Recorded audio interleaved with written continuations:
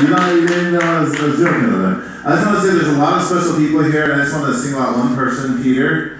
Um, where is he at? I just want to say that you have the charm and the heart of, of all of Africa, as big as Oh, Africa. yeah. And I just really appreciate knowing you. Thank you so much for being here. This song is called, I just wrote it today called Goodbye to a Rose by Matthew Tuttle.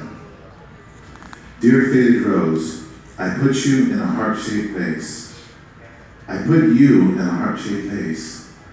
But when glass shattered upon winter's chill faded you, I can find you in solitary confinement to a dusty ancient Bible. I pray. I want to find you again, that phosphorescent florid feeling, that fancy flower, but yet it has turned to gray golden dank dust. Poison ivy in my soul, heart a black hole. For me, the Mr. Toad's wild rush of the blush of spring with bountiful bouquets of merry violets, the love-drunk bird singing king.